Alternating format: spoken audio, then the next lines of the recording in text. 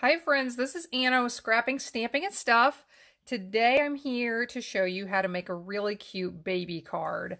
Now I made one of these up the other day. I left it at my stamp club I have with some local Amish ladies, which I just love going to. And I left it there, so I don't have my sample to show you, but this will come together in just a couple of minutes and then you'll get to see the end result.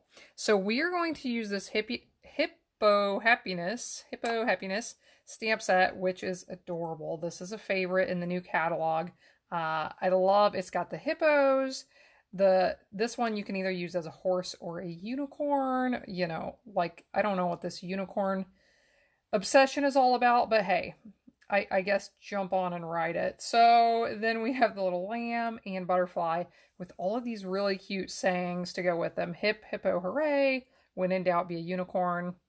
You are special. Fluttering by to say hi. Thank you so much. Um, just happy birthday to you. Just really cute sayings to go in it. So they had requested that we make a baby card with one of the cute animal sets in the catalog. So I pulled this one out and made up a cute card with it. So here's what we need for this card. We need our card base. This is So Saffron cardstock. It measures five and a half by eight and a half, folded in half. This piece is four by five and a quarter white cardstock embossed with our brick and mortar embossing folder. Love this. One of the ladies commented on this, and I've heard this so many times. She said, You know, I have a brick embossing folder, but it's not like this.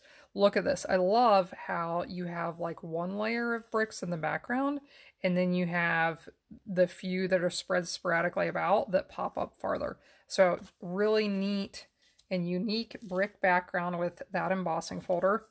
We have a two and a quarter inch piece of circle from So Saffron, a two inch circle from white.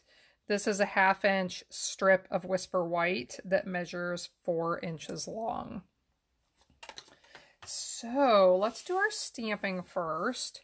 We are going to stamp the hippo on this. I chose the hippo. I thought it would make an adorable baby card, which really any of those animals would. So the greeting will go on this strip, and I chose the Hip Hippo Hooray one. So I want to stamp this in the center. I will be using Smoky Slate and basic gray inks on this. So I use Smoky Slate on that one. Now we're going to stamp this three-step hippo. And I'm going to use Smoky Slate for this piece, that the this background that stamps the whole hippo. If you wanted, you could set this up in your Stamparatus and line them all up perfectly that way, especially if you're going to do more than one of these. Since I'm just doing one, I just decided I'll just do it this way. And since I already had my circle punched out. So I'm going to do my best to line up this. For the second part of the hippo, I'm using basic gray. I wanted it to be a little bit darker. And then I want to stamp its face, its big smile with this basic gray. And the way I try to line up the face is see the little uh, nostrils that we have the eyes on top, the nostrils in the middle, and then the smile. So I try to line up the nostrils with the nostrils as I'm looking at this. Does not need to be perfect by any means. There we go. And then, just for fun, I'll bring the smoky slate back in, I think. And this is a cute little stamp with stars or confetti or whatever you want to consider that. So I just stamp that all the way around.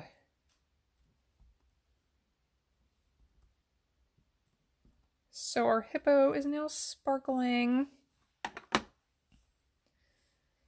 With our greeting, I want to punch the ends with our new Banners Pick-a-Punch. I have used this a few times already in my videos, and you will continue to see it much, much more.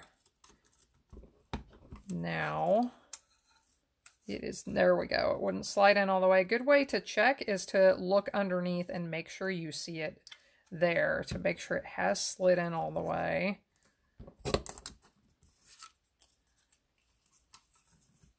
So you could choose either that end that points out or the one that cuts inward, or it's fun if you have a couple of these pieces and you can do like layer them one on top, one pointing out, one pointing in. Okay, now we have everything ready and we just need to put this together and then we'll stamp the inside.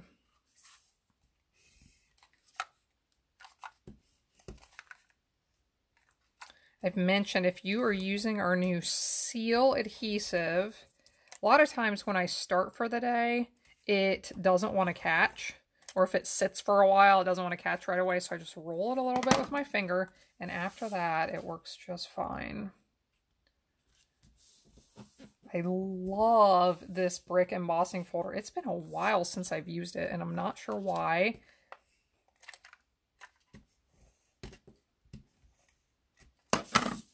So I want to put this circle up here in the center.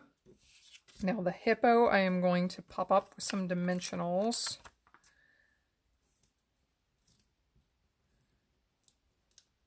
I make so many basic cards that can be used for all sorts of occasions. Sometimes I forget to make things like baby cards, and I've been running low on wedding and wedding and sympathy cards, so sometime here soon we may have to catch up on some of those and share some more of those types of ideas. So we'll put our little greeting down here at the bottom.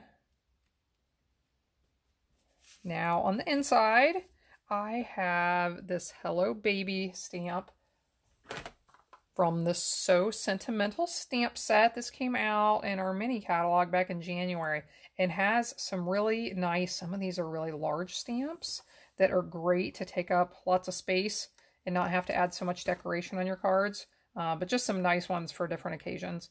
So we use this cute little baby one and stamp it right here in the center. If you wanted to, you could add another little hippo on the inside, but I'm going to leave it just like that. So there you go, a quick and easy baby card with the Hippo Happiness stamp set and this amazing brick and mortar embossing folder. Thanks for joining in. You can find more ideas and inspiration on my website at scrappingstampingandstuff.com. I hope you find some things there that you love and you can find links to my online store where you can order your supplies. Have a great day and I hope to see you next time.